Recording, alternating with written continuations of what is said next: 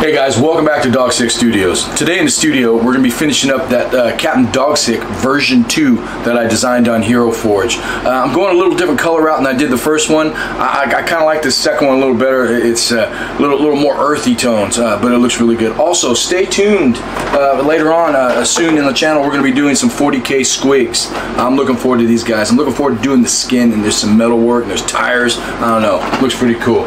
also, please like and subscribe. It really helps support the channel channel. Uh, all right, let's get in there and knock it out.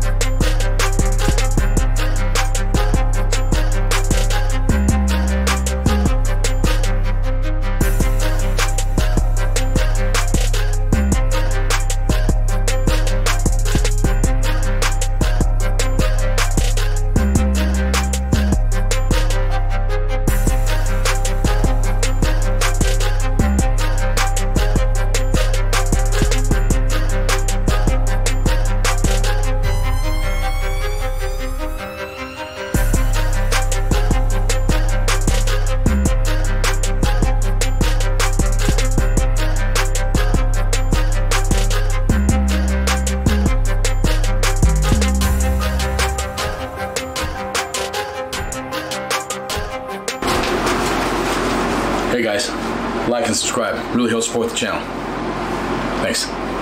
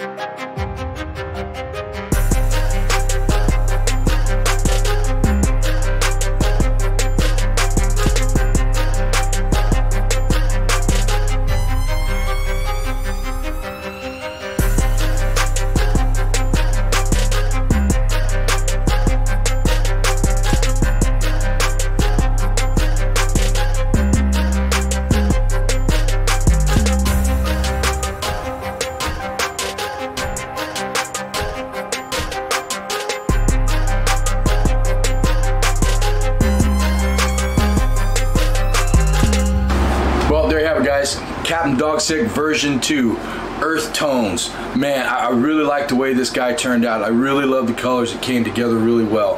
Captain Dogsick version 2, agnostic miniature, play whatever you want. Also guys, please stay tuned. We got Squigs coming up down the road. This is gonna be fun. Squigs, I mean, how can you go wrong? Uh, please like and subscribe. It always helps support the channel. All right, guys, we'll see you next time. Thanks for watching.